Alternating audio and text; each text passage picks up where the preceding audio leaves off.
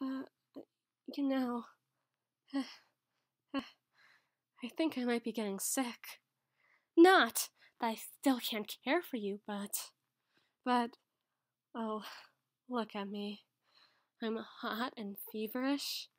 I'm shaky. I feel ever so lightheaded, like I could fall into your arms at any moment.